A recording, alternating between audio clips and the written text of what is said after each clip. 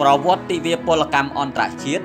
ឬទិវាកម្មករអន្តរជាតិទិវាពលកម្មអន្តរជាតិនៅប្រទេសខ្លះហៅថាទិវាកម្មករអន្តរជាតិចំណែកប្រទេសខ្លះជាពិសេសនៅអឺរ៉ុបហៅថាទិវាខែឧសភាត្រូវបានពង្រីកដោយពួកកុម្មុយនីសនិងពួកវណ្ណៈកម្មករដើម្បីរំលឹកដល់ព្រឹត្តិការណ៍នៅទីលាន Hell's Market Affair កាលពីឆ្នាំ1886 គេចាប់ផ្ដើមដំបូងនៅឆ្នាំ1887ប៉ុន្តែកាលនោះគឺធ្វើនៅខែកញ្ញា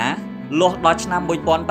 1904ទើបទិវានេះត្រូវបានធ្វើនៅថ្ងៃទី1ខែឧសភារហូតមកថ្ងៃទី1ខែឧសភាឆ្នាំ1986កម្មករប្រមាណ3សែនទៅ5សែននាក់បានជួបជុំគ្នាធ្វើបាតកម្មទូទាំងប្រទេសអាមេរិកដើម្បីទាមទារឲ្យកំណត់ម៉ោងធ្វើការក្នុងមួយថ្ងៃ ចូលដល់ថ្ងៃច័ន្ទខែឆ្នាំដដែល មានកម្មករប្រមាណ6នាក់ត្រូវបានពួកនគរបាលបាញ់សម្លាប់ស្អែកឡើង នៅថ្ងៃអង្គារទី4ខែឆ្នាំដដែលនោះ នៅទីលាន Hay Market Square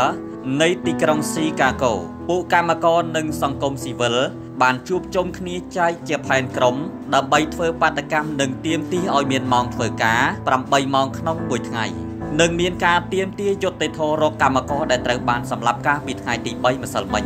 ខណៈពួកប៉ូលីសកំពុងតែព្យាយាមបំបែកចំពោះការជួបជុំអនាមិកក៏មានការគប់គ្រាប់បែកមួយសម្ដៅទៅលើពួកប៉ូលីសនិងមានការបាញ់ទៅលើហ្វូងមនុស្សបណ្ដាលឲ្យប៉ូលីស7នាក់បានស្លាប់ផងដែរប៉ូលីសក៏បានបើកការបង្ក្រាបចំពោះហិង្សានេះដោយមានការសងសឹកទៅលើពួកបាតកោបណ្ដាលឲ្យស្លាប់ជនស៊ីវិលចំនួន4នាក់រងរបួសមួយចំនួនផងដែរ នៅចុងសតវត្សទី19ជាយុគរីកសាយនៃសហជីពនិងចលនាពលកម្មអំឡុងសម័យកាលនោះ គឺជាច្រើនថ្ងៃ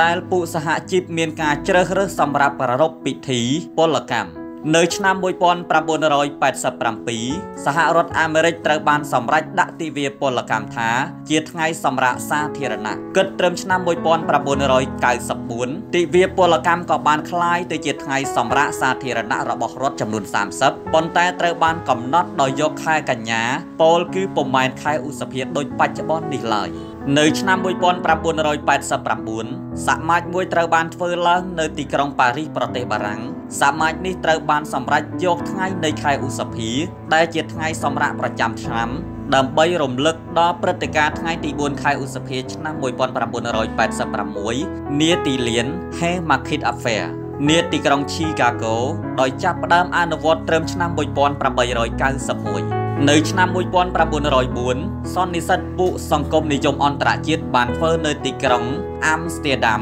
ប្រទេសហូឡង់ហើយបានអំពាវនាវឲ្យគណៈបកប្រជាធិបតេយ្យសង្គមអង្គការក្រៅរដ្ឋាភិបាលនិងសហជីពពាណិជ្ជកម្មនៅបណ្ដាប្រទេសធ្វើបាតកម្មយ៉ាងស្វាហាប់ស្របគ្នានៅថ្ងៃទី1ខែឧសភាដើម្បីចែងច្បាប់កំណត់ម៉ោងធ្វើការ8ម៉ោងក្នុងមួយថ្ងៃ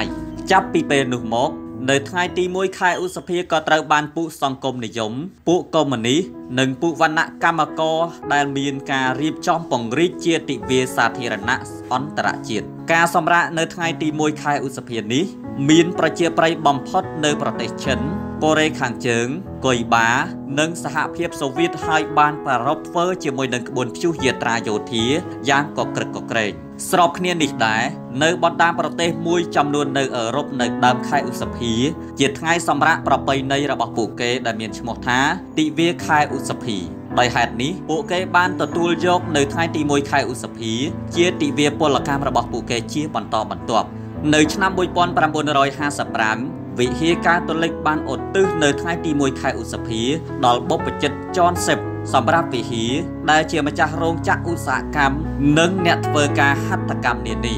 ចាប់តាំងពីពេលនោះមកយើងឃើញថាការជ្រើសរើសយកនៅថ្ងៃទី1ខែឧសភា ជាថ្ងៃទិវាពលកម្មអន្តរជាតិនៅបណ្ដាប្រទេសជាច្រើននៅលើពិភពលោករហូតមក